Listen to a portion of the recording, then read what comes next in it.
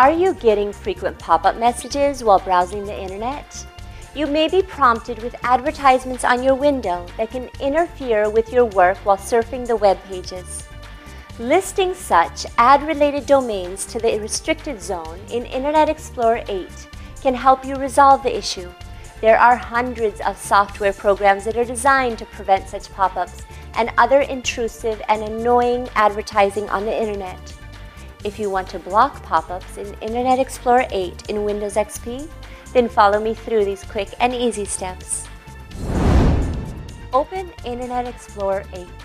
Click on the Tools menu. Point to Pop-up Blocker and then select Turn on Pop-up Blocker option. Congratulations! You have successfully blocked pop-ups in Internet Explorer 8 in Windows XP.